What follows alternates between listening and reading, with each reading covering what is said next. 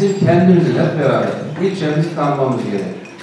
İlçemizin kültürünü, tarihini, geçmişini, konumunu, iklimini, coğrafyasını önce bilmemiz gerekiyor ve bu noktada da neler yapabiliriz kültürle alakalı, turizmle alakalı bir çalışma yaptık. Bugün de bu toplantımızın amacı bu kültürle alakalı şerefli koçları tanıtıcı, şerefli koçları tanımamıza vesile olan ve gelecek nesillere bu kültürü aktarmak için biz şerefli koçları tanıtan kültür ve tarihi atlasını kitabını yazmaya karar verdik.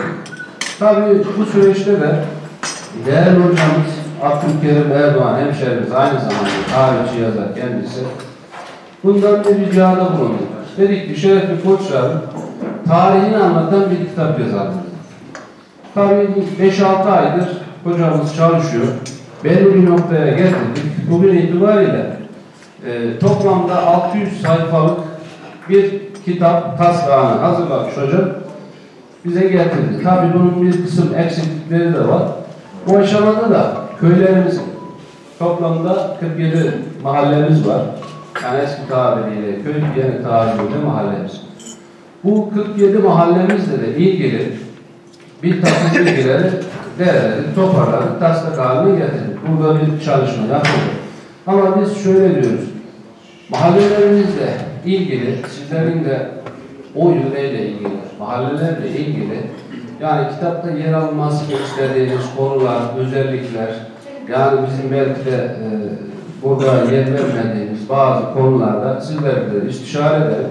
İstişareden sonra, taslak halinden sonra biz bunu baskıya sunacağız. Ve inşallah ben diyorum ki memleketimiz için güzel bir eser olacak bu.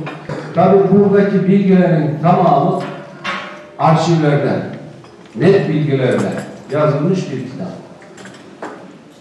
Değerli başkanımızın e, katıl, e, yardımları, maddi ve manevi destekleriyle Şerefli Koçhisar Tarih ve Kültür Atlası isimli bir çalışmayı 6 aydır e, devam ediyoruz.